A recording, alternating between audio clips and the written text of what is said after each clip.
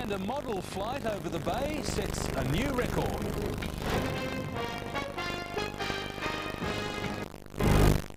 Geelong to Melbourne doesn't seem much of a feat, but for a Carnegie model aircraft enthusiast, it's earned a world record nonetheless. Boys and their toys. 37-year-old Mike Farnan pumps two and a half litres of fuel into his baby chopper. And from then on, it's hard to tell the real from the model.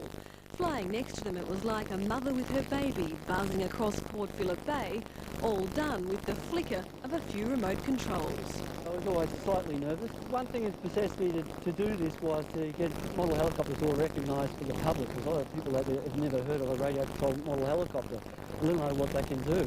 The model flight path tracked from Geelong to Elwood's Moran Park, reaching speeds of up to 100 kilometres an hour.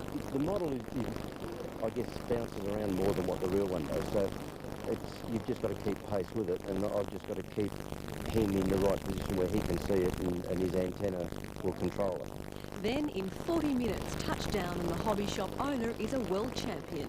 This adds to his international uh, uh, reputation. How does it feel to be a world champ? Oh, fantastic. Jennifer Adams, 7. Mother of two has claimed an unusual world record. Mike Farnan has become the first person to fly a model helicopter over water. Susie Calder met him. It was around 100 metres above Port Phillip Bay this morning that Mike Farnan's dream became reality. His tiny model helicopter set out over a 65 kilometre stretch of water, leaving Geelong before 8 en route to Elwood. We're coming up to 15 minutes of flight time now and we're about uh, a third of the way across, so we're running on schedule. From a conventional chopper, Mark remotely controlled his model, which was weighed down with four kilograms of extra fuel to cover the flight. It was a delicate task, even for a man who's been flying models since he was just four years old. I was amazed how easy it was, but one of the main reasons that was we had a, a strong tailwind, and that blew us across the bay. We really did it in half the time it should have taken.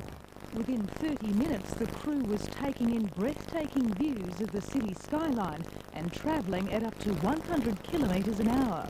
To me, I hadn't pulled it off until the model touched the ground, because the full-size helicopter would land first, and then there's all the rotor wash coming off its rotor blades, which I had to land in through it. And that he did, completing the trip in 40 minutes. It's a record Mike is already hoping to break, with an even longer trip planned across Bass Strait. I would really have to sit down and work out how to do that, and that would be island hopping. That would be some something to do. Susie Calder, National 9 News.